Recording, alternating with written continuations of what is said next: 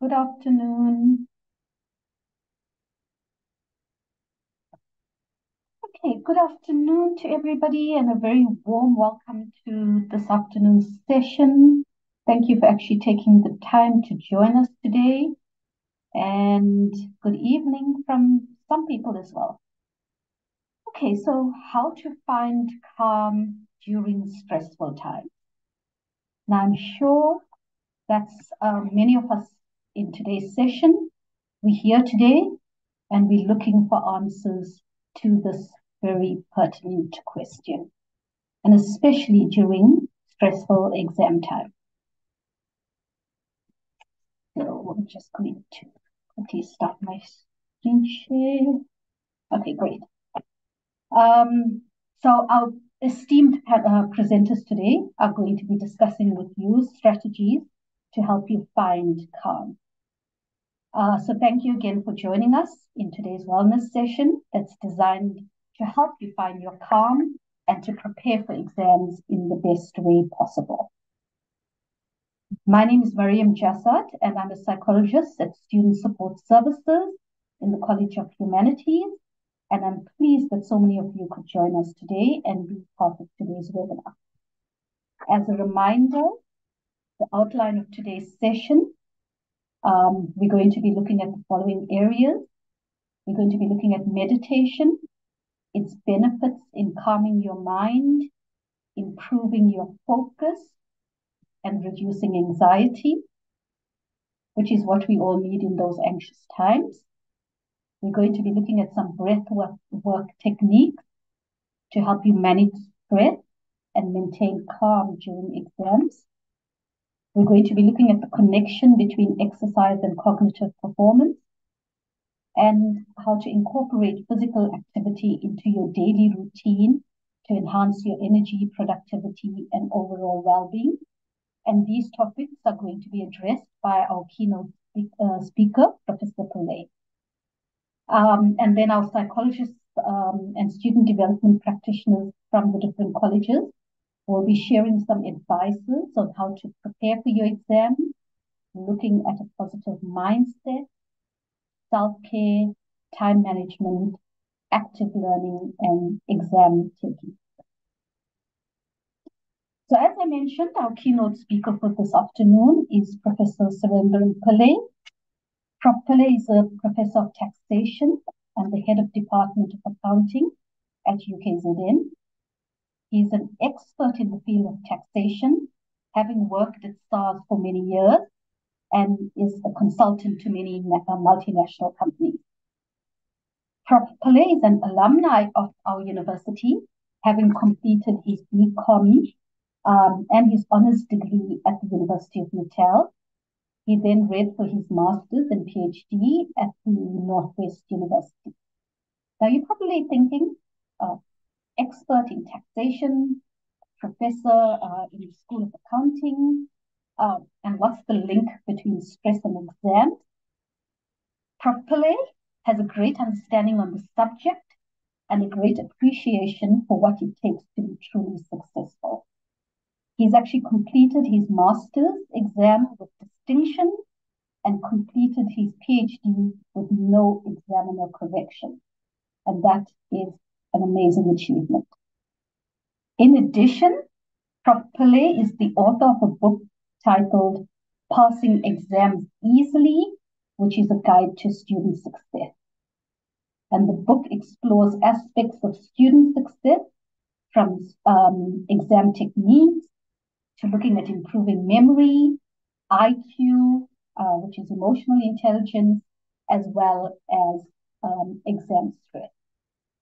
In addition, Prof. Pillay is the chair of the Yoga Institute, um, and I believe he hosts yoga classes on the Westville campus. So please join me in welcoming Prof. Pillay to today's session. And from that brief uh, resume, you uh, you may you could have figured that he's actually well placed to be sharing um, these advices with us. So Prof. Pillay, I hand over to you. I'm going to stop sharing.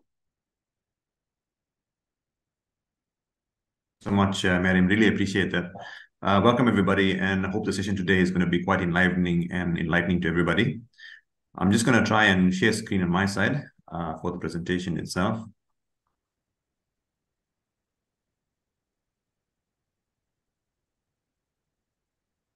Okay, so once again, thank you to the college for allowing me to actually present today. Um, today, I will present on the areas that uh, has just spoken about.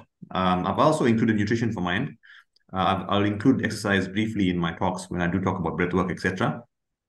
Um, so these are the areas that roughly I'm going to cover today: your nutrition, uh, breath work, and meditation, as well as some practical techniques uh, for everybody to practice on breath work and meditation. So I advise a lot of my students. I do see a lot of students uh, both undergraduate and postgraduate um, in our school. And of course, every, all the students have the same problem uh, with stress management and, and, in terms of the content that they have to, to cover. So the first thing I'll, I'll, talk about is your nutrition level. And I always talk to my students about this because I was lectured on this by a great professor in, in Cape Town, University of Cape Town, who was actually um, a food fundi. Um, and he also was also quite interested in, in food and how it affects the mind. Um, but I'm not going to spend too much of time on this, but I think it's, it's it has value uh, to a student. Uh, I've always advised my students to look at the most best foods that will make you more smarter and allow your memory to, to improve also. Uh, the first thing is sort of almost basic avoid avoid alcohol, drugs, and weed. Um, I would think that those are the things that you really don't don't want to be doing. Um, the weed, some people think it's actually good for you, but it's actually not that good for you because um, there's a, an ingredient called THC in it, uh, which actually um, allows you to become intoxicated. So I would avoid uh, that. Sugar is is something that makes you stupid, uh, and why I say that is because um, sugar, when it does metabolize into your body, it does absorb a lot of vitamin B vitamins. So B1, vitamin B2, B3, B6, B12, all of those B vitamins, which are essential for what they call cognitive functioning, understanding, and memory, um, actually dissipate and get dissolved in the process. Uh, caffeine um, also gives people a lot of energy and, and people do feel hyped up with it. Uh, the problem with caffeine is that uh, its effect on adrenaline um, makes it volatile. So the adrenaline spikes that you feel in your body um, and in your mind when you do have caffeine uh, allows you to, to have these spurts of energy and then a very, very um, big low, I could call it, a drop in energy. So what are the things that we should be going for? Uh, choline, which is a very, very powerful um, ingredient that is found um, in in nature. You can actually eat a lot of uh, foods that have choline in it, and those are typically your nuts and seeds, berries, uh, fish, uh, greens, and avocados. Um, something called alpha GPC, which is available on um, in your pharmacies, phosphatidylserine. All of these things do improve uh, memory and IQ. Nuts and seeds, very very important. Um, I I have nuts and seeds every day. I have berries every day uh, because these things have been found to be effective uh, in terms of cognitive functioning um, and actually uh, improving your memory. Uh, fatty fish, high in omega-3, very, very good, good brain food. Uh, leafy green vegetables. Um, I know not many people enjoy vegetables these days because they're all more taken away by the meat diet, but greens are also important. Avocados are excellent.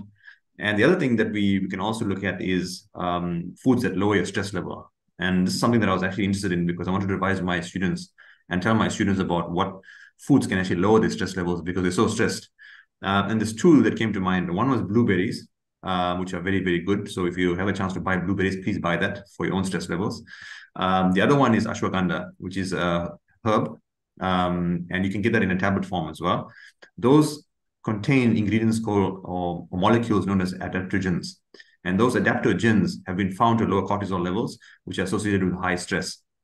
So if you have uh, amount of berries and ashwagandha, usually your stress levels do, do lower. And this is without meditation or without any breathing technique. Uh, just eating the stuff will actually lower your stress level. Um, also, pumpkin seeds also a little bit effective in lowering blood pressure. So these type of uh, foods, we need to be aware of them because if you want to perform at your best level, you need to be putting into your body uh, the stuff that's really good for you. Uh, you want to avoid uh, the stuff that actually impairs your performance in terms of um, memory and cognitive ability and intelligence. Only a stupid person would want to make themselves more stupid. So basically, what we're trying to say here is that this will actually improve your your IQ and memory capacity, and having that improvement will allow you to actually uh, produce better results. So today, the focus is more uh, on breath work and meditation. I'll, I'll throw in a little bit of exercise and its value in it. But what is actual breath work? And breath breathwork basically refers to a variety of different exercises with a conscious control of your breathing, right? So, and these breathing patterns are there uh, unconsciously most of the time because we don't aware of our breathing. But as soon as we become aware of our breathing, we have ability or we have the ability to, uh, to now change our breathing pattern. And changing your breathing pattern will allow you to improve your physical, mental, and emotional well-being. And I've been doing breathing exercises for a very, very long time, over 20 years, two decades. And I found that in that process of, of practicing these breathing techniques, my focus is much more better. Um, in the original form, the breathing techniques were practiced for long, um, a long time ago. Uh, you'll find that uh, a technique known as pranayama, which is a scientific art of mastering your breath, that, that forms from that's formed part of yoga. This pranayama was there over 5,000 years ago and was done originally for meditative purposes only. But now breathing has a much wider context. Uh, deep breathing and, and breath work um, has been shown in study after study to lower your stress levels. Um, so the, there's three of them that we're going to discuss today. The first one is deep breathing.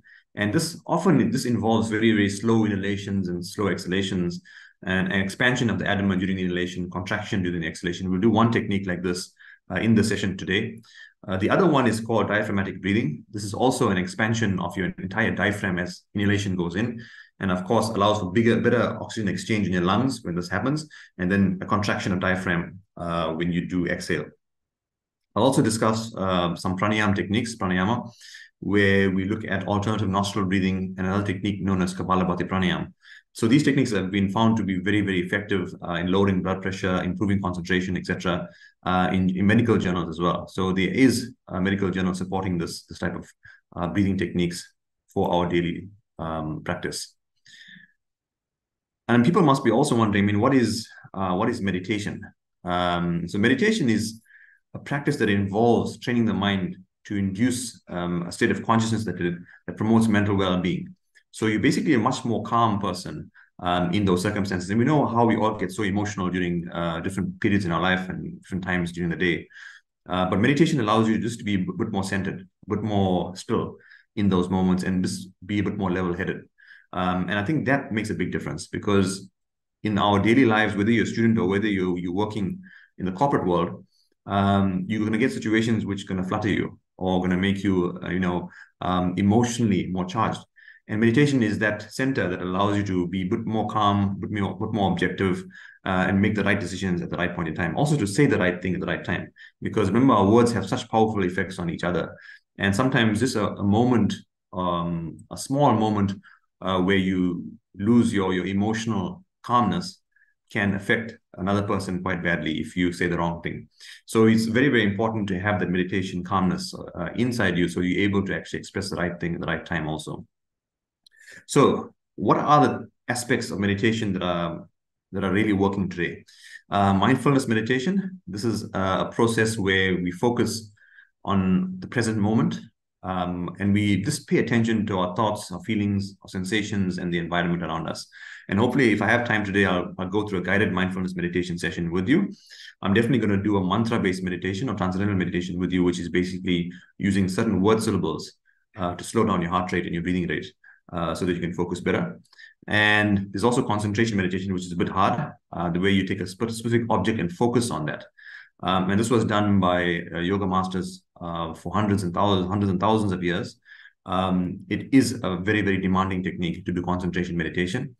Um, the easier one to do is the sound meditation, uh, which now everybody, I mean, even my own students, my postgraduate students in accounting come to me and, and tell me, you know what, I'm using this this uh, app, Headspace, it's working quite well. I'm doing it every day. So I've got students to, to actually meditate on Headspace or Calm or, or Buddhify because these apps are right there for everybody to use uh, just to calm their mind down. So music is such an easy way to to get more calm uh, and more focused. So I would advise you to to try sound meditation. Definitely try um, the word-based or mantra-based meditation. Uh, those to work and mindfulness also can be used as well. There's also guided, guided mindfulness meditation techniques on YouTube uh, that you can go through and look at. Um, so those are some of the prominent meditation techniques that are out there at the moment. Um, if you're interested in that, um, the benefits are just amazing, and, and I only put it here because I just wanted you to to see what this does. Uh, the studies on, on mindfulness, just on my on on mindfulness alone, are strong. You know, um, if you look at memory enhancement, there's studies being done showing that mindfulness meditation will increase your memory and improve your flexibility there's improved cognitive function. That means your response time, your understanding uh, of something, of subject matter is improved with when you do meditation practices. Um, IQ, this is something we all want to improve, right? Um, IQ can also um, be affected by mindfulness meditation. It improves that. Um, we saw significant increases um, in IQ scores in certain studies done in 2011 by Chiesa. Uh, neurophysiological changes, breathwork and meditation have been associated with brain structure. Now, what we mean by neurophysiological changes, something called neuroplasticity, which means the basic ability of the brain to rewire itself. Uh, so if you learn a new skill, for example, playing a violin or playing a piano, uh, your brain will actually start to adapt itself and start to develop new neurons and new neural pathways to learn to play that instrument. Uh, what we found is that people who meditate more have faster um, neuroplasticity. That means better neuroplasticity in, in the sense that they actually develop the learning faster. They're able to learn new skills uh, quicker because the brain is more flexible. Um, so these type of things are all enhanced by uh, breath work and meditation because breath work also reduces your stress level. Now, besides this, this breath work and meditation, I also want to bring in exercise here as well. Uh, there's a very, very good interview uh, by Andrew Huberman, who I follow as a neuroscientist at Stanford. And he talks a lot about uh, the neuroscience of memory, IQ, success, and overall well being. And one of the, the interviews he did um, interview a professor from New York University, um, and she's a professor of neuroscience. One of the things was exercise that came up um, in that interview. And for exercise, if you even do 10 minutes of exercise, there's enough evidence to show there's a mood change uh, in your mind. Right? So if you want to change your mood, you're depressed, uh, you're sad, you're anxious, you're nervous, just doing 10 minutes of exercise, whether it be cardiovascular exercise, walking out, uh, walking, running, jogging, uh, whatever it is, even the slowest of walks, just some type of movement, uh, whether it's cycling, anything to get you moving, um, there is a change in mood uh, in terms of the hormones that are released by your brain. The other thing to be aware of is that if you do more than 10 minutes, say you do 15 minutes or 20 minutes, and you start to get your heart rate moving up higher, then something happens in your brain, in, your, in an area called known as the hippocampus. And that area is associated with memory. And people who have been exercising for 20 minutes or 30 minutes a day, um, more or less on a regular schedule, show that the hippocampus actually grows.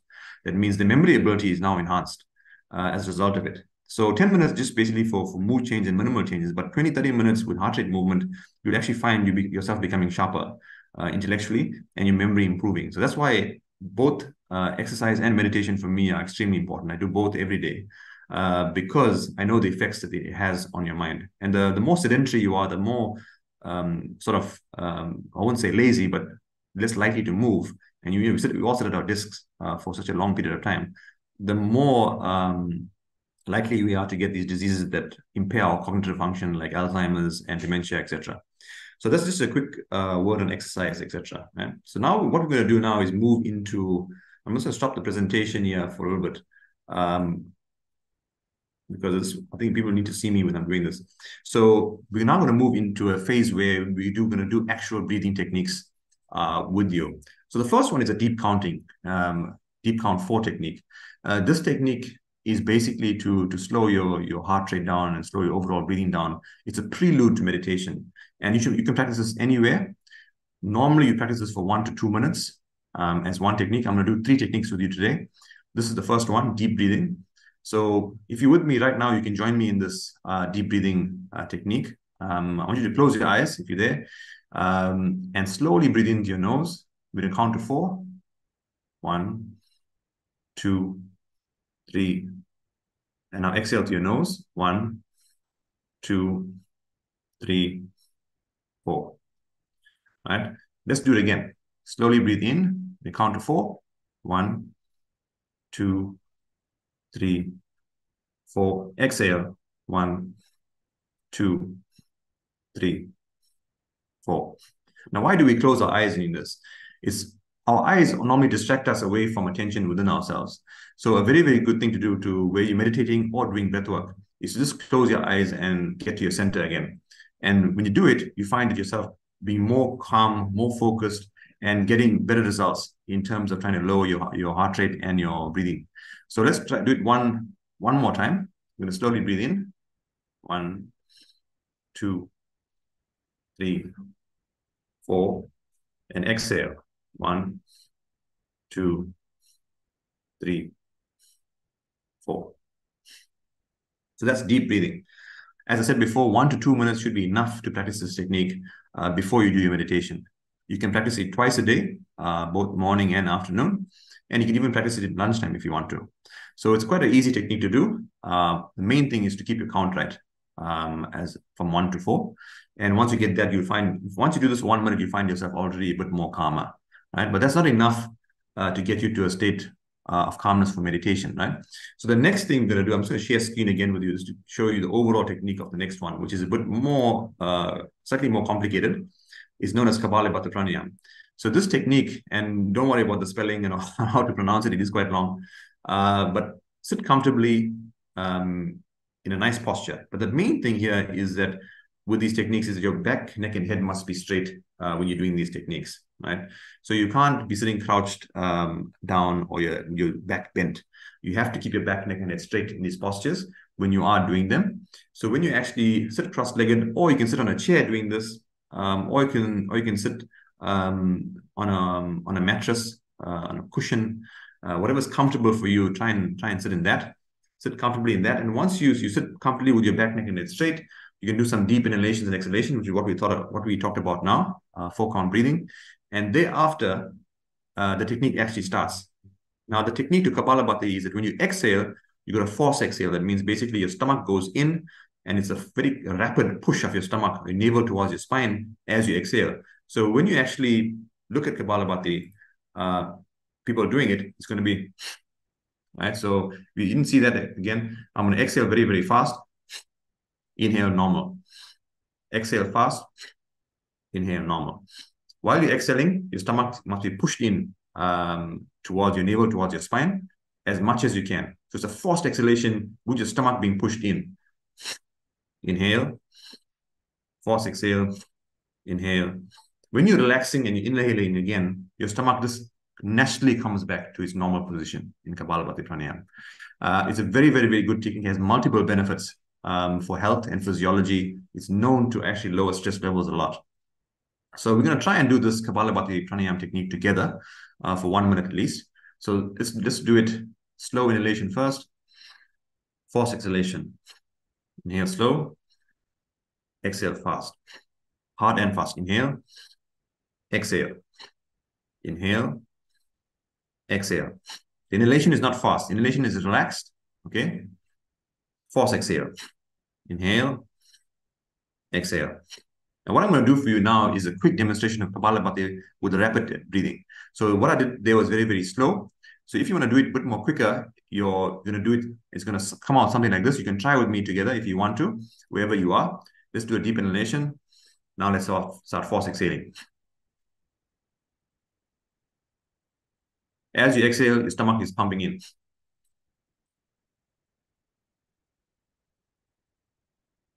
Your nose should be making that sound of forced exhalation coming out through your nostril when you're doing it. It's hard, it's pumped, it's exhaled, and that uh, causes a, a change in the metabolism in your body. Let's do it for 30 seconds more.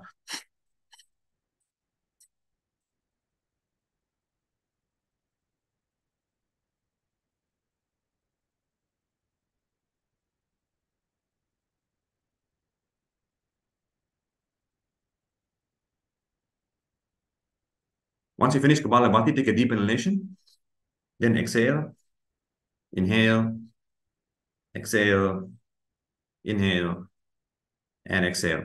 So in my yoga, yoga classes that I do in, in Westville, we do this technique after we do our yoga asana or positions, and thereafter this we do meditation.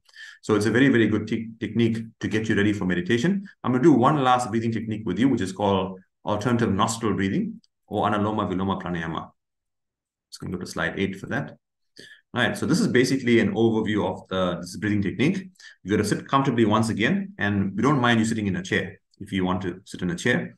Um, and this operates through your nostrils. So you're going to use um, your right hand to block and release nostrils specifically. And as you block one nostril, you're going to breathe into the other. And once you breathe into one nostril, you breathe out to the other nostril. Right? Um, the, the technique is that you'll use your right hand with your thumb and your ring finger to block and release nostrils, and you'll inhale through one and out to the other. Now, you can do this uh, up to five minutes at, at, a beginner level, and gradually increase it. Some of the studies on this has been quite amazing with the Anuloma Viloma Pranayama.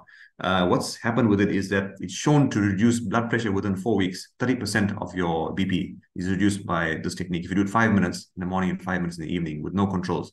So basically, if you do this without any changes in your diet, without changes, any changes in your exercise, you can actually reduce your blood pressure naturally using doing this technique. Right. So if you know anybody with high blood pressure, they'll also get benefit from this technique. So I'm going to show you how to do it. You can practice with me together if you want to.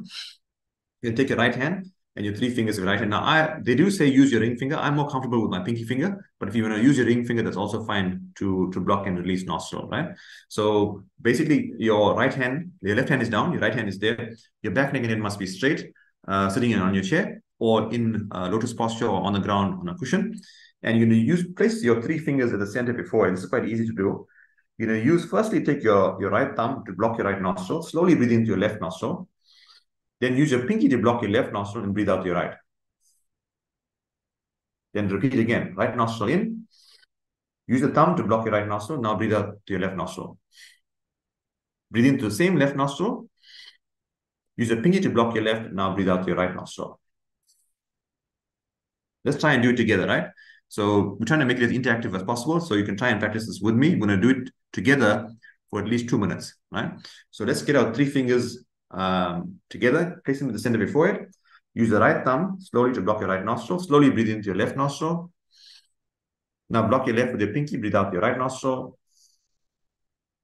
Once again, breathe into your right nostril. Now use your thumb to block your right, breathe out your left nostril. Breathe into the same left nostril. Block your left nostril, breathe out your right. Breathe into your right nostril again. Block your right with your thumb, breathe out your left. Breathe into your left. Block your left with your pinky, breathe out your right. Into your right nostril again. Use your thumb to block your right nostril, breathe out your left nostril. Into your left nostril again. Now block your left nostril, breathe out your right nostril. Into your right nostril. Block your right nostril, breathe out your left nostril. We're going to do three more times. I want you to close your eyes doing this and, and deep breathing. Slowly breathe into your left nostril. Block your left, breathe out your right. Into your right nostril again. Block your right nostril, breathe out your left. Once again, slowly breathe into your left nostril. Now block your left nostril and breathe out your right nostril. And relax. So that's basically Kapalabhati, uh, Anuloma Viloma Pranayama, alternative nostril breathing. So how do you go about doing it? The first thing to do is deep breathing, the four count. Breathe in one, two, three, four, inhalation. Exhale, one, two, three, four. And you do that for one minute. Once you've done that, you go into Kapalabhati Pranayam, where you exhale as a forced exhalation, inhale, relax. You can do that for one to two minutes. And once you've done, once you finish that, you can do the final pranayama, which is Anuloma Viloma Pranayama, where you block and release nostrils for one to two minutes. And that will give you about five minutes of uh, breathing techniques that you can practice. Remember, uh, if you like alternative nostril breathing, you can go as long as five minutes.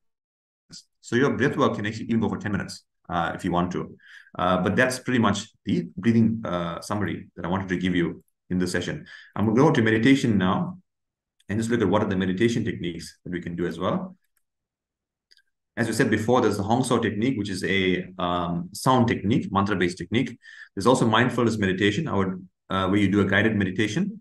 Um, and I'm not, not sure if we're going to have time to, to do that one right now. Uh, and there's also sound meditation called Yoga Nidra, right? But what I do want to do with you right now is do firstly the, the mantra-based meditation or the word syllable-based meditation where we use a word syllable to slow our heart rate and breathing down. So this is after you've done your breathing techniques. You can do this technique. So the meditation, remember, it's about calming your mind and getting the focus. But very importantly, in meditation, you must be in a quiet area and a clean area where there's not too much traffic happening. So there shouldn't be too much of uh, movement in that area that, that's happening where you're meditating. Ideally, in nature, it's very, very good. If you can find a park, a lake, or your own garden in your house, outside your house, under a tree, wherever it is, those areas are very, very conducive to meditation. But as I said before, not too much of sound from outside, not too much of traffic uh, where people are walking all the time and going to disturb you. You want to be in a quiet space.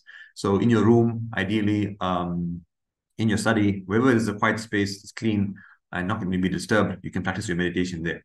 So when you're practicing your meditation, uh, the Hong Sau technique is one of the best uh, that I found. I also find sound meditation to be very good as well.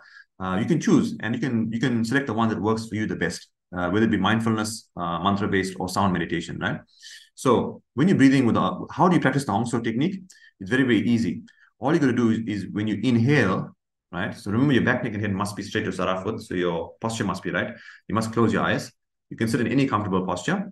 And as you breathe in, you'll say H-O-N-G, Hong, which is a Chinese uh, technique. So Hong. And as you breathe out, you say Sa. So Hong in, Sa out. When you do this technique, you're not going to say anything aloud. It's going to be mental, right? So you're going to say Hong in, mental, and Sa out, mental. Hong in, Sa out. Hong in, Sa out. So for the first minute, I'm going to say the Hong Sau with you. So I'm going to tell you as you breathe in, Hong, and as you breathe out, Sa. We're going to do this one minute. Then for one minute on your own, you're going to practice this technique. And that will finish our meditation session, right? So we'll do two minutes of this together. Remember, when you're practicing this technique, you should be doing for about 10 minutes, right? In a quiet place. Twice a day would be ideal, morning and afternoon uh, would work. But if you want to do three, that's fine. Um, 10 minutes of, of this should work, uh, but you can go at, at high as 20 minutes. And any time is, is, is, is fine. Meditation doesn't have a limit on time. You can do it at any point in time during the day, right? So let's try and do it for one minute together. Let's breathe in, Hong, Sa. Inhale, Hong, close your eyes. Exhale, Sa. Inhale in Hong, Sa. Inhale Hong, Sa. Inhale Hong, Sa. Inhale Hong, Sa. Hong,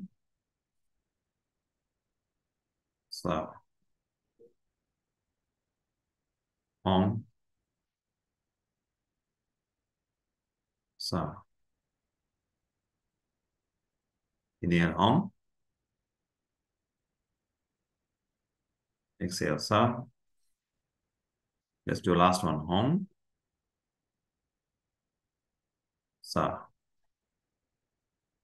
So that simple technique, uh, if you do it for 10 to 15 minutes, you find your mind being a lot more calmer after it. As I said before, the environment is just as important as you practicing the technique. You must practice it correctly, but in the right environment and try and get at least 10 minutes out of the technique. If you can do it for 10 minutes in the morning, 10 minutes in the evening, it's going to be excellent.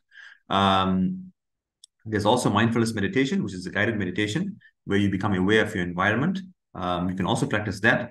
I think I'm slightly over time at the moment, so I'm not going to go into a guided meditation with you at the moment because we don't have time for that, but I'm welcome. I think uh, with Rakshika and Miriam, we're welcome to do that at a later point in time uh, with students as well. The other thing that I want to keep you aware of is the sound meditation, and that's uh, Yoga Nidra. If you type in Yoga Nidra on YouTube or sound meditation or NSDR, what does NSDR stand for? Uh, non-sleep deep rest. So if you actually uh, do NSDR, which is very, very, very similar to, to Yoga Nidra, Nidra in the sense that you lie flat on the floor. This is a very, very simple thing to do. It's very, very effective. I want you to try and lie flat on the floor wherever you are, palms facing up. And you can do this whenever you're free. You don't have to do it right now, but palms facing up, lying flat on the floor, close your eyes and put uh, this NSDR music on, uh, NSDR music on in your room or wherever it is, uh, or Yoga Nidra music, and listen to that for about 10 minutes. And that will give you the similar effect of meditation as the mantra-based meditation we were talking about just now, and even the mindfulness meditation, which is a, normally a guided meditation of your mind focus and concentration, right? So I just want to uh, thank everybody, I think, for today. I mean, I've gone slightly over time um, in terms of the session, but obviously, you know, I'm welcome to take um, any questions that people might have uh, on the breathing or the meditation or even the diet or the exercise. Thanks, uh. Thank you so much, Prof. Pillay, for that excellent presentation.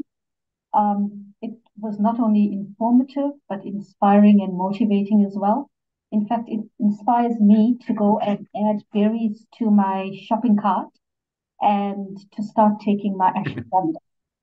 Yeah. Um, but uh, what I found particularly uh, beneficial, I think, was the exercises that you shared with us were very practical, they're very doable, they're not time consuming, and they come with mm. immense benefits. So thank you very much for sharing your time with us and your expertise. And okay. yes, we're going to open the session for any questions. Prof is going to have to leave perhaps just before the end of the session because he has another commitment. So if there are any questions for uh, Prof Pillay, you can either go to the chat and uh, type it out or you can go live. You can request us to unmute you, I think. And there's some positive comments coming on the chat as well, Prof.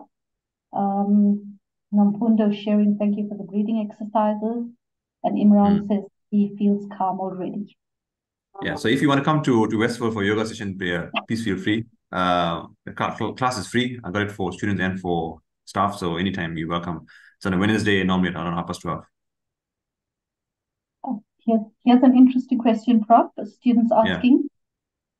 Yeah, uh, yeah. so yeah, Jesus instead of uh, Hang So, Hang So, yeah, absolutely. Uh, even if you, uh, depends whichever faith you in. If you want to say inhale G and exhale this, this could also work um, in calming your heart rate down and slowing your breathing down and getting better focus for meditation. Um, and even in uh, if you're Islamic, if Muslim, Islamic nature, you can also say ah, la, ah, la. So you can actually do that, or you can do G, this. In Chinese, you can do Hong, So, and of course, if you're Hindu, you can do this also uh, Om or, or Brahman. So you can also, depending on which religious faith you are, you can also incorporate that into your meditation technique. Um, this is devoid of, of any religious uh, connotation. You can do it as you please. Some interesting questions on the chat, bro. Okay.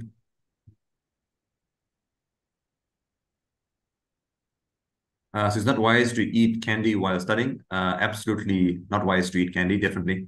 Uh, as I said, the sugar is going to give you a spike. I would, I would, if you want to go energy, I'd go for fruit um, as opposed to candy. Uh, fructose does have sugar in it, but it's more, it has higher fiber and a lot of benefits to it, and it's slower releasing. So if you want to, you want an energy boost, my best advice to you is eat a banana or um, eat an orange uh, as opposed to to going through a candy. Uh, the reason being is that there's still energy in those in those fruits, but there's a lot of antioxidants in them. There's a lot of um, benefits to them overall in terms of in, uh, cell functioning. So I would go with, with fruit rather than candy um, if you wanted those energy levels to come through. Uh, uh, campus, we have the sessions. Uh, normally, we're going to have them now in L1, but we also have them in Comsa Lounge. Um, for mindful meditation, I am I tried it, but I'm always distracted. It, it can be distracting because uh, mindfulness meditation requires you, you some, some focus on the environment, some focus on your physical body, some focus on, on sensations. So um, it's likely that your mind can move away from that while you're practicing mindfulness meditation. So that's one of the reasons why some people don't practice mindfulness meditation because it does involve some level of focus and concentration. And um, that's why I say, uh, to me, the easiest technique is NSDR and Yoga Nidra, where you just have to lie on the flat on the floor in your in your room, palms facing up, deep, close your eyes, breathe deeply, and listen to the music. And that can give you a very, very uh, calming state uh, of mind for your for your relaxation, or the the Hong So technique uh, as a second one. Yeah, so I mean, uh, I think you can put my email address. You can send my email address to all of them, um, or um, those who are interested in it. Uh, can share the the yoga information with them. Some people are interested in that. Uh, fruits. What fruits uh, should we take? Um, but uh, I find that the bananas are quite good in vitamin B.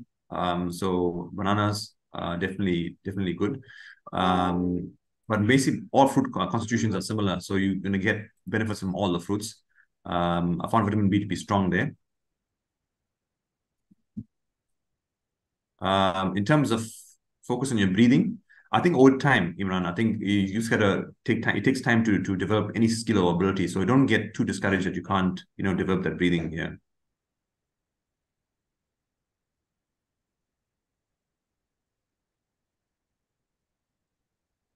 Uh, the yoga sessions on campus normally happen around lunchtime. So it's usually between half past 12 and 1. But I can, I mean, madam, you can organize something for students if you want to come to Howard College or something um, and do something there. I don't mind coming there and having a session with students if they want to uh, have something. Thank you.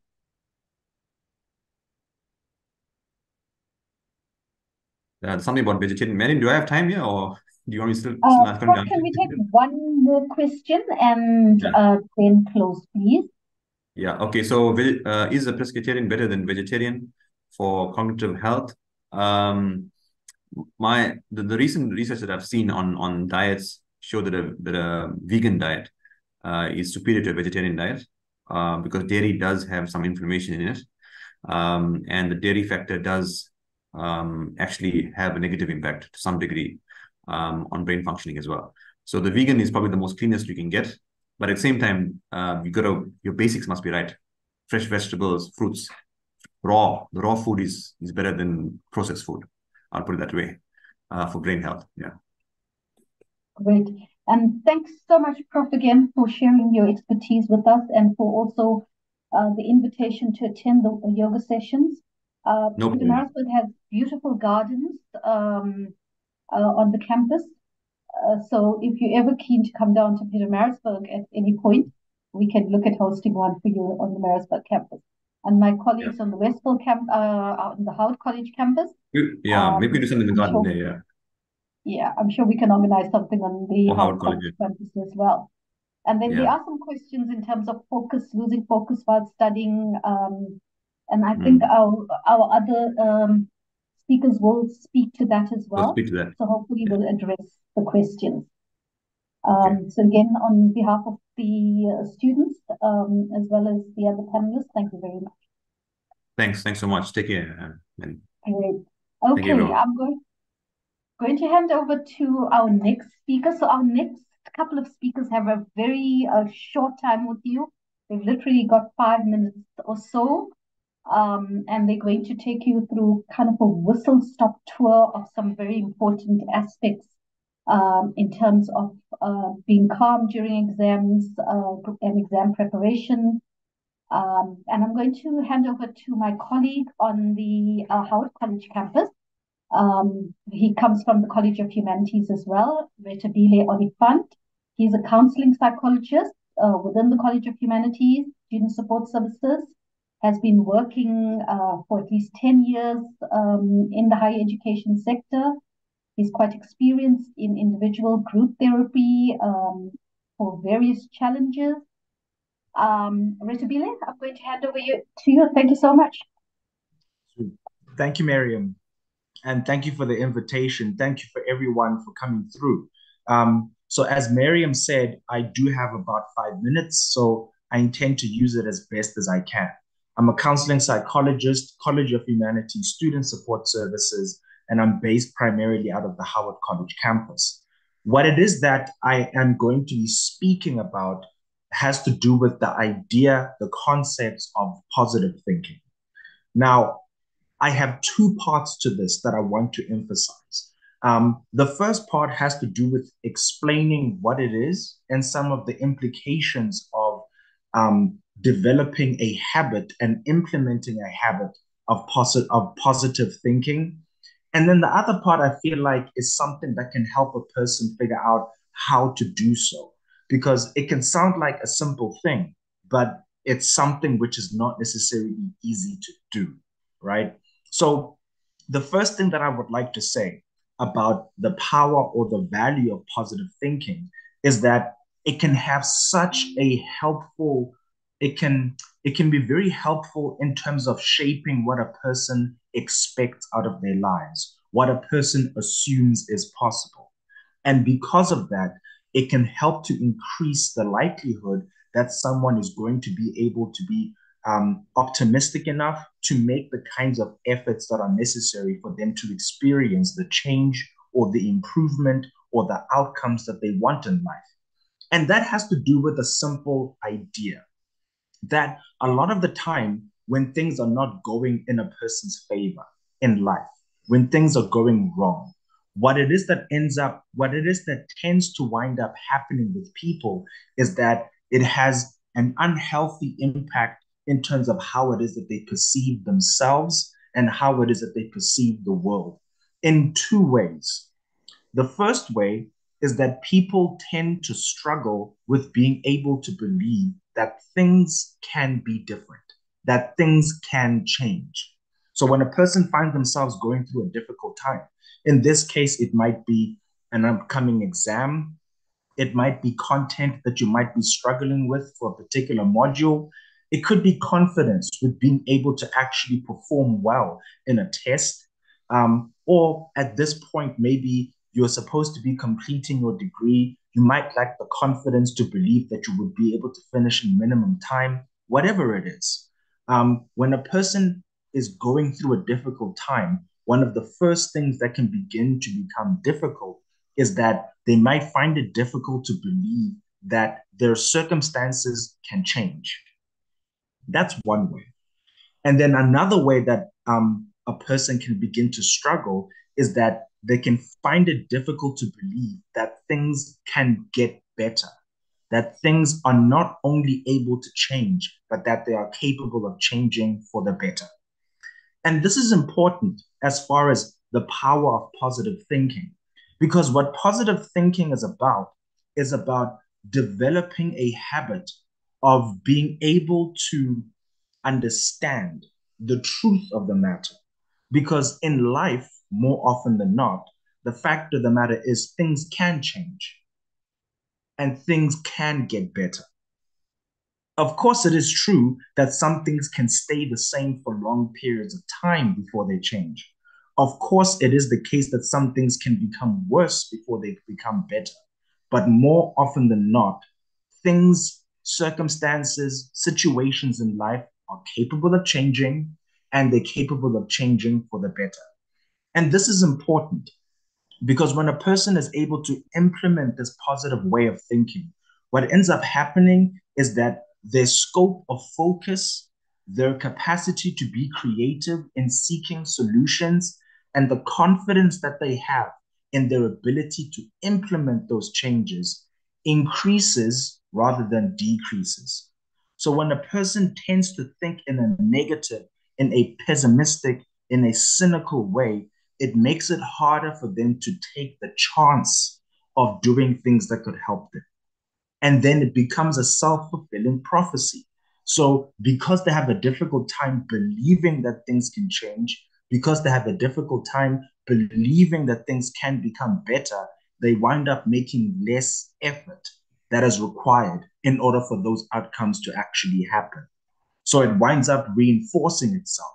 However, when a person develops the habit of positive thinking, it makes it easier for them to take those chances, to take those risks, to try doing things differently it doesn't guarantee that things will change. It doesn't guarantee that anything will happen, but it certainly improves the odds, right?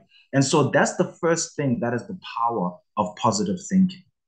The other part of it, and I'll finish just now, is part of what can help a person be more likely or more willing to think in a positive way is to go about their lives, especially challenges in their lives, to treat them as opportunities to learn things about themselves. I don't know what circumstances that you guys are heading into into this exam. Maybe you're heading into this exam season with a level of confidence and belief that things are going to be fine. Or maybe you have legitimate reasons to be concerned that things may not work out the way that you want to. What it is that I would want you to have as a way of approaching life is for you to be curious about the fact that um, I have an opportunity to learn something about myself regardless. So that if I'm going to succeed, I want to make sure that I'm succeeding because I gave it my best effort. So that I know that I have the ability to do it again later on because I did try my best. I did not get lucky, or I can reduce the amount of luck that's required. But if things are not going to happen according to plan. If I have to fail, for example, whether that's a test or a season in your life, if I'm going to fail, that I fail honestly. And that means I would have tried my best and things didn't work out for any number of reasons. But that outcome also is a learning opportunity because I know something that's true about myself. It could be the case that my efforts are better served somewhere else. Maybe I don't have as much ability in this area. That means I have the opportunity to try something else. So, regardless of what's happening, if you're going to succeed, succeed honestly, try your best. You're learning about yourself. If you have to fail, fail honestly, try your best because you still know something about yourself. That's all I have.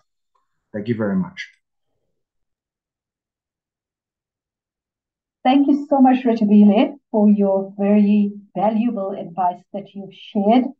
Um, I especially liked the part about stopping the negative, pervasive thinking and developing a habit of realizing that things can change and that things can be better. Um, and treating opportunities as uh, treating challenges opportun- as, as opportunities for self growth. Thank you very much for sharing those words of wisdom with us. Great. Um, we'll take any questions at the end, Rethabile. We'll go on to the next panelist, right? Okay.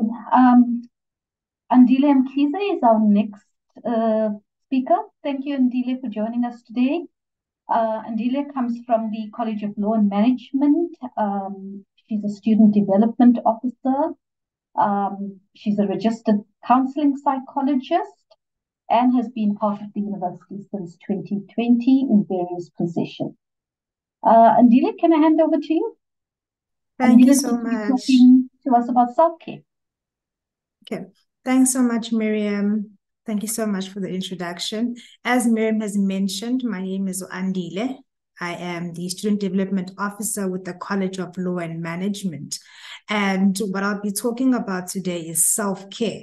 So it's finally here. Everybody is stressed, everybody is tired, but essentially, we can't negate the fact that we must take care of ourselves.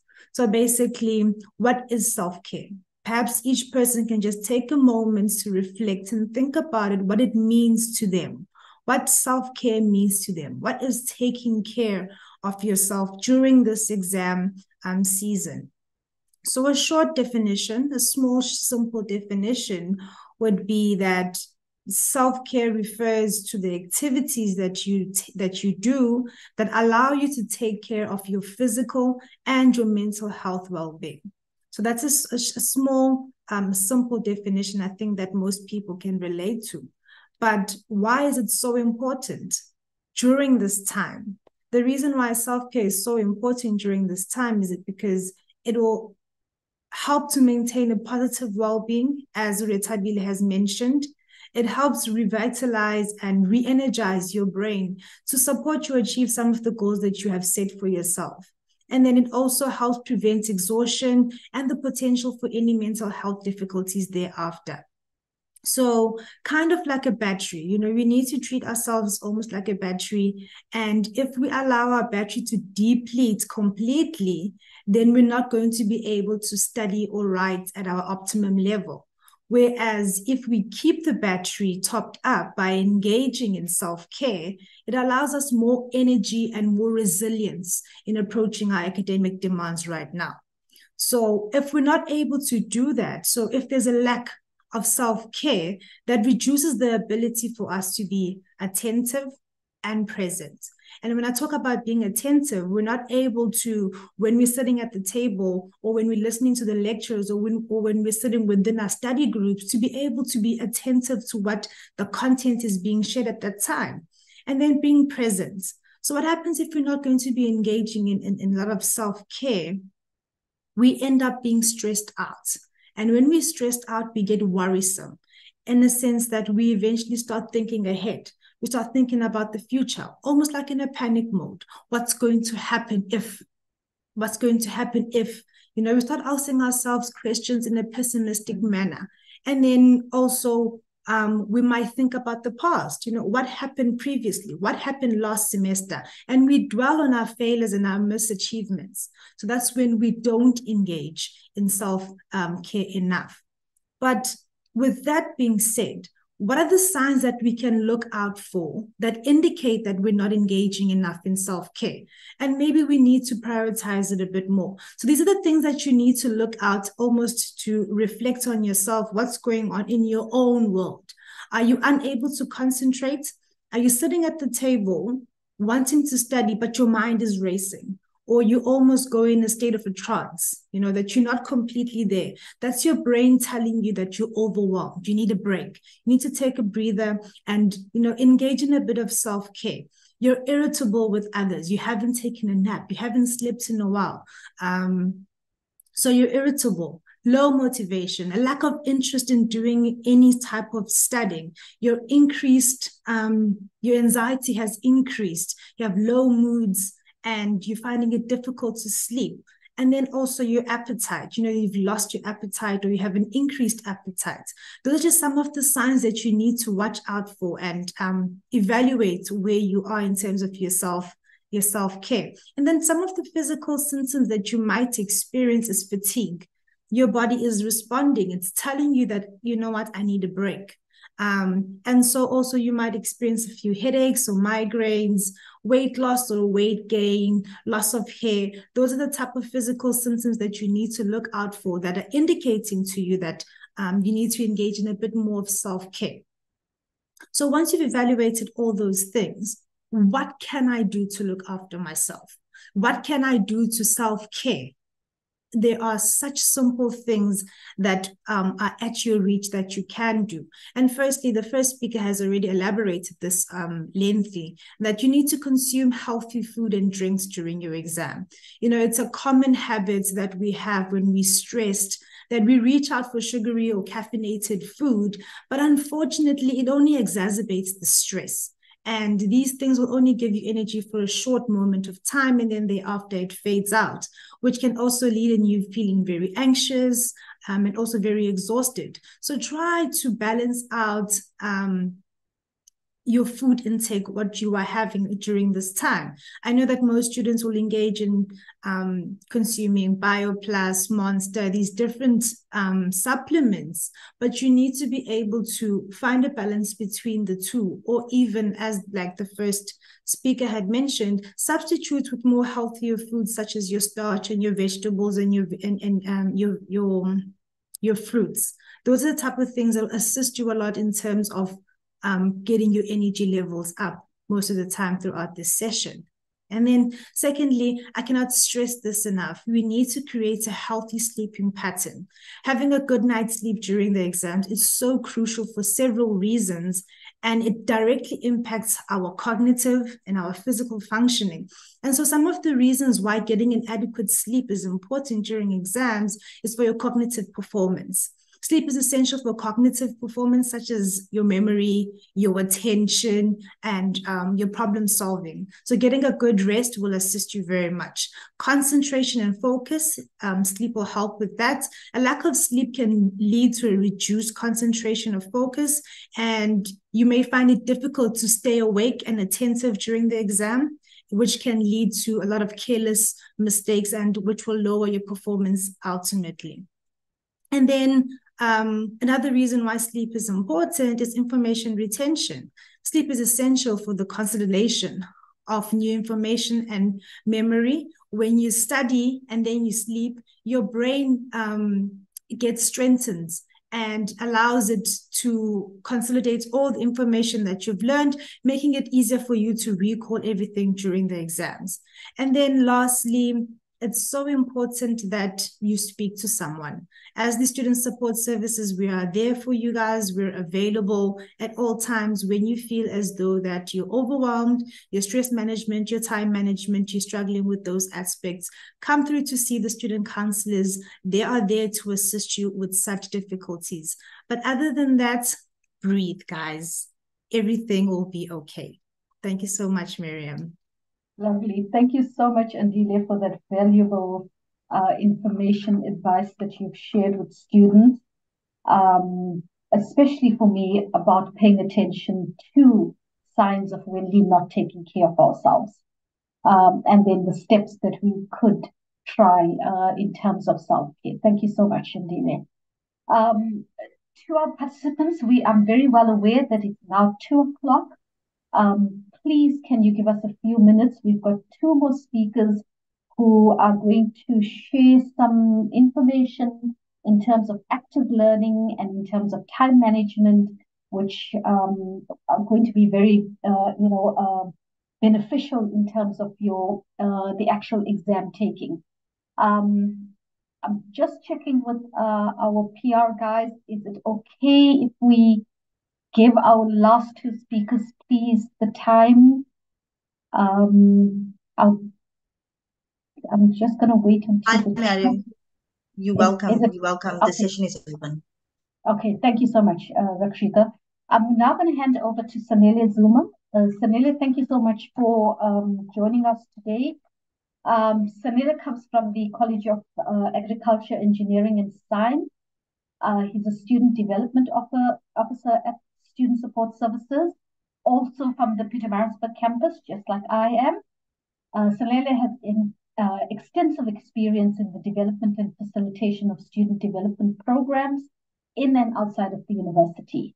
Um, in fact, I think when there's any activities, uh, life skills training um, happening at the residences, for example, uh, we always know Sanele is, you know, somebody we can turn to, and Sanele is somebody who's going to be there. Um, core mandate has been to ensure that students are equipped with essential academic, career, and psychosocial skills to aid their success at university and importantly beyond. Sanele is going to be talking to us about a very important aspect in terms of exam management prep, and that's time management. Sanele, um, handing over to you. Thank you so much. Thank you, Miriam. Uh, my stopwatch is on. I'll stick to five minutes. Well, time management. Um, in my many years of being here at the university, I think uh, I started in 2010 as an intern. I can tell you that there's no bigger threat to a student's academic success as poor time management. Um, we often fail assessments that were easy to pass. Sometimes we get average marks on assessments that we could have aced. Quite often, um, our results are a reflection of our time and not a reflection of our potential. So you, you don't get to university by chance. You have what it takes. There are so many students who get excluded for you to make the space. Uh, so there is a lot of potential and a lot of students actually end up leaving, not because it was too hard, simply because uh, they didn't put enough time. So that's why when we talk time management, I tend to focus more on self-management um, because it goes together uh, self and time management. It's easy for most of us to do timetables, plan, but to put that plan into action is something that calls for a, a change in attitude. You know, it, it speaks more to self-management. And um, it's, it speaks to, to your attitude, basically. Uh, it speaks to the oomph. Uh, in isiZulu sithi i mean uh, you you you need to find it uh, that's why it's important for you guys to take your career interest seriously some of you are just not putting in effort simply because you are in programs that you are not passionate about and it becomes very difficult for you to be as disciplined and committed and you come across as a person who's lazy, yet it's because you are just doing something that you have zero interest in. So uh, do consult when you have those kind of problems. So what could help this attitude shift probably uh, in the three minutes I have? One, you are a student and whatever that defines you the most in life should be dominating your 24 hours. If we come across somebody and they introduce themselves as a preacher or a pastor, we can already predict without even seeing them that they pray a lot, they read the Bible, they go to church because they are a, a pastor. You are a student.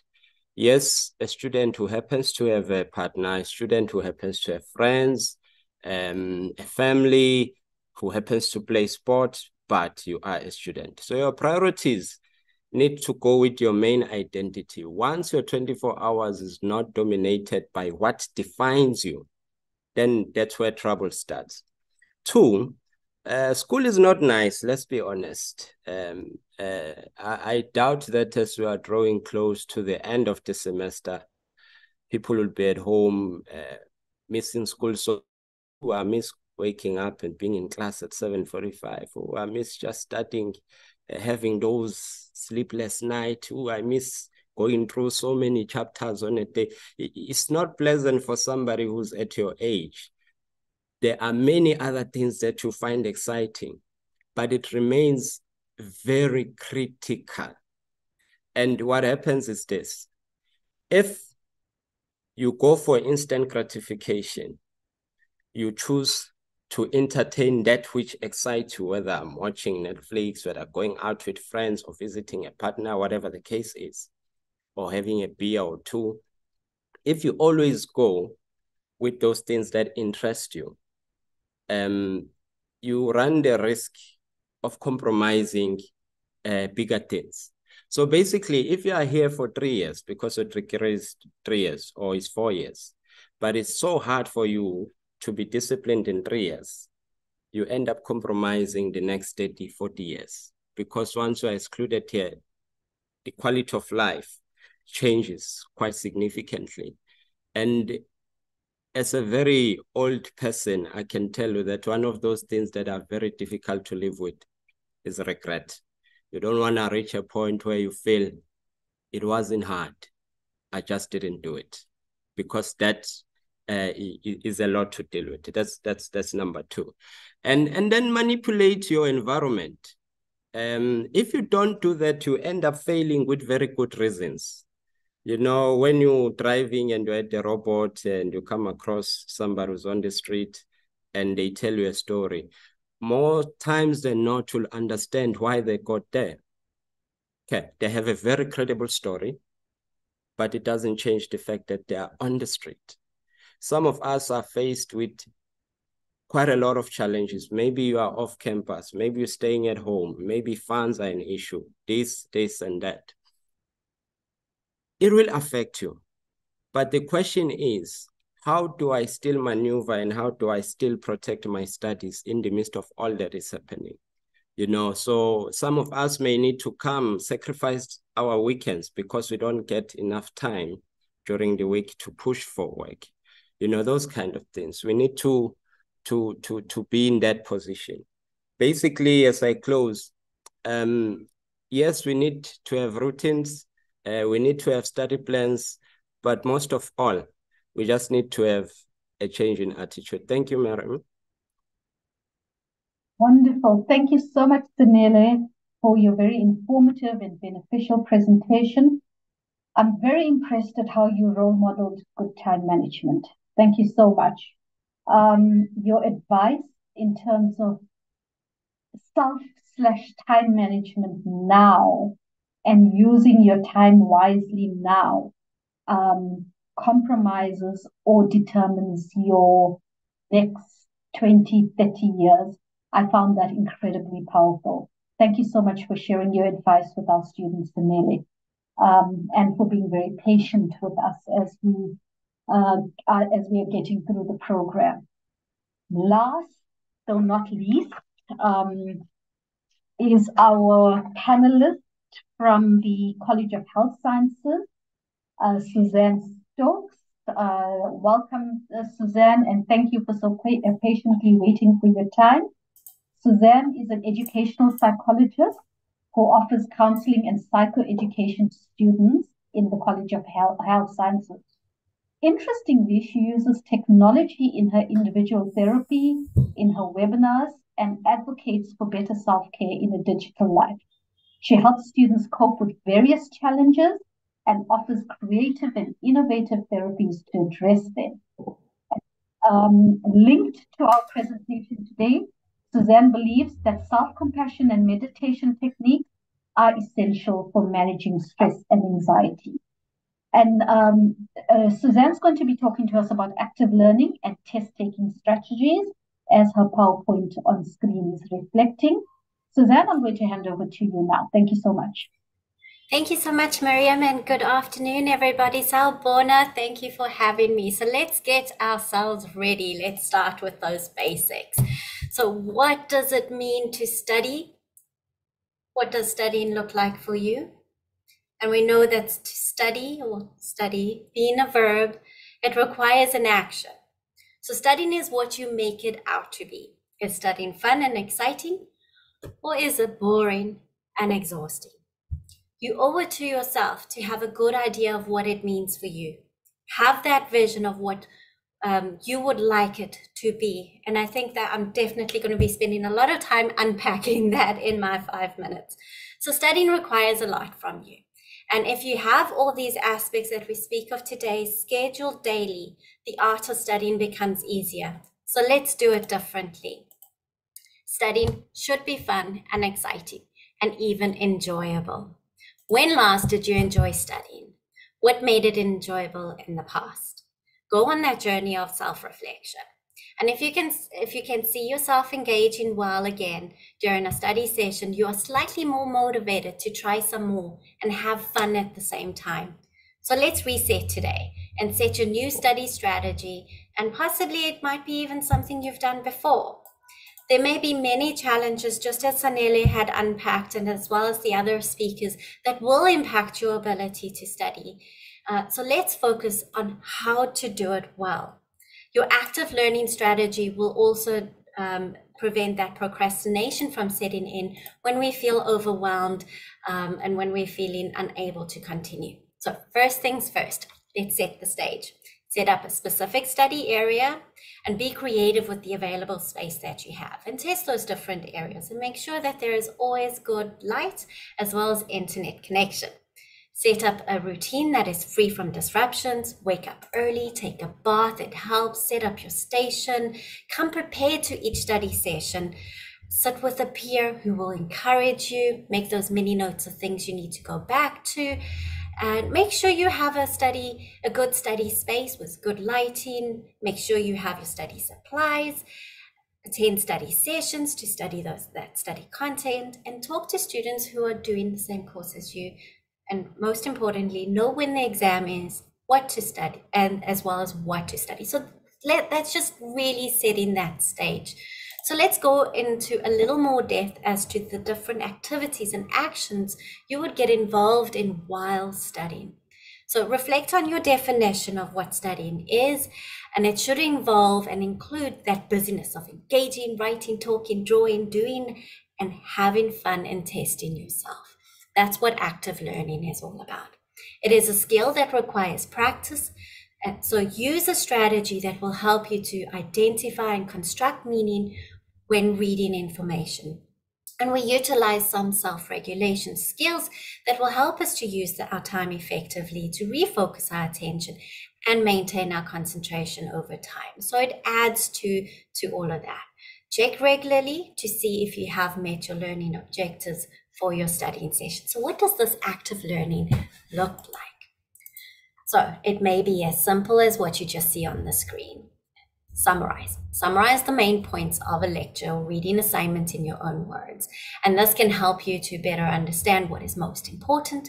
And it helps you to automatically start retaining the information better. While you're taking notes, read it out loud. Don't just rewrite the textbook. By reading out loud and taking these notes, it will help you to stay engaged and again, help you to retain information better. Test yourself on the material that you've been studying. This will help you to identify what, what um, aspects you need more practice on, and it will definitely, with more exposure, improve your performance on your exam. So make a note of what you don't know and spend time on working that. You will notice that your confidence levels will improve because you're starting to fill up your gaps in knowledge. Be encouraged to stay to study with someone. It may not be easy to ask someone, but it has many benefits. Work in pairs or some small groups uh, to discuss and explain some course material to each other. So use that existing study uh, support strategies or structures such as mentors, um, use those lecture recordings, those revision recordings, or online MOOCs and quizzes. This will also help you to unpack and solve real world problems by having those conversations uh, and, and being able to relate that to that course material. And fi- the final last active um, uh, learning strategy is active reading. So actively engage with the text by asking questions, make connections, summarizing those key points. And this will again help you to retain information better and improve your understanding uh, as well as your critical thinking skills. It's as easy as applying the SQ3R reading strategy um, to you know that that we've been taught while we were at school. Reading techniques will help improve concentration and your me- memory recall. So I hope those active learning strategies are helpful. Let's jump straight into exam test taking strategies, and these will help you to perform better on exams. Read the instructions carefully. So before starting any exam, this will help you to understand what is expected of you and will avoid you avoid um, making those, those careless mistakes, answer easy questions first, and then move on to the more difficult ones. And this will help you to build your confidence and avoid getting stuck on those difficult questions. Manage your time effectively during an exam, allocate more time to those difficult questions, and leave enough time at the end to go back and review your answers and make sure that you actually, you know, complete all the questions eliminate wrong answers before making any type of guess. This will increase your chances of really, um, you know, improving your overall score. Stay calm and focus. You could implement some of the meditation techniques or um, just some clearing of the mind techniques by taking some deep breaths, stretching, closing your eyes for a few seconds, especially when you're feeling anxious or overwhelmed. And avoid distractions especially before an exam. Uh, avoid using your cell phone, music, or any electronic devices prior. Just kind of recenter yourself, clear your mind, and ground yourself. These dist- distractions can definitely increase anxiety and can impact your ability to perform in an exam. And finally, review your answers at the end of exam. Check for simple things like spelling mistakes, incomplete answers, or any other mistakes that you have made. So in that quick five minute nutshell share, I do hope that these strategies are helpful. And I just want to appreciate you all for listening in and for staying behind. Have a wonderful afternoon and, and good luck with your exams. Thank you, Maria. Thank you so much, Suzanne. And uh, I think we want to appreciate you for the time that you've uh, taken to put together a very um, engaging presentation and sharing some very, very valuable advice. And I think for me, the one that kind of stuck is uh, the one that you started with, where you spoke about the mindset uh, in terms of learning to enjoy uh, enjoy studying. Um, and I think that definitely paves the way. Um, you know, it makes it a much more pleasant journey the next couple of weeks. Thank you very much. Um, to the panelists, um, to my uh, peers, uh, a sincere, sincere thanks to you for the sea of wisdom and knowledge that you showered us today during your presentations. To our participants, thank you very much for joining us today. Thank you for giving us the um, extra time um, that we've taken from you. We do hope that you found today's sessions beneficial um, as a reminder, the yoga sessions happen on the Westville campus. Um, I think our uh, PR rep has shared Prof. Pillai's email address. Uh, Rakshika, if you haven't, please uh, share it. Uh, so any questions with regards to the yoga lessons, uh, you can contact Prof himself. And then all of the other panelists, as a reminder, do come from Student Support Services uh, on the different campuses. Our offices are here. You're very welcome to uh, set up an appointment and come in and chat to us. Um, I'm just looking at the chat. There was a question with regards to um, Andile wants to know where and how can you uh, access past exam papers. Uh, past exam papers are available online. So if you go to your student portal, you will find that there is um, a forum where a student can access past exam papers. You can also go to your library and um, check with your librarians as well. Uh, thanks so much, Rakshika, for sharing Prof. Uh, email address. Uh, it's pilay18 at ukzn.ac.za. Prof had to leave us um, because he does have a prior engagement as well as Rethabile. Um, uh, but uh, yeah, in extension, I'd like to thank both of them for um, for being present and sharing uh, their knowledge with us today. Yes, every campus does have a student support services. Edgewood campus, we've got two counselors based there, uh, Lindy, Lindy Ngubane and um, there's a new lady that's joined her. Uh, they used to be based next to the clinic. Uh, I'm not too sure if they, because of the um, refurbishment that's happening on the West, the Westville campus, I think they're based in a temp place. But if you go and check with the clinic, they'll direct you to them. Thank you for that. That's an important question. Okay, so I'm just going to give you guys a few minutes to please um, um, bring up any questions that you do have and definitely echo what uh, Rakshika has said on the chat. We wish you the best of luck with the exam. Um, and the fact that you've taken time out to come and attend a presentation to get, today, uh, you know, speaks uh, well uh, for you. Okay, this is the last stretch. You've got to this point. It's about just having the positive mindset, uh, using the simple yet very powerful and effective breathing techniques, paying attention to self care in terms of um, um, time management, self management, uh, and active learning strategies. So, thank you very much, guys. Rakshika, thank you very much for initiating this session. And again, a big thank you to all my panelists for joining. Okay, I think if there are no other questions, we can um, end the session.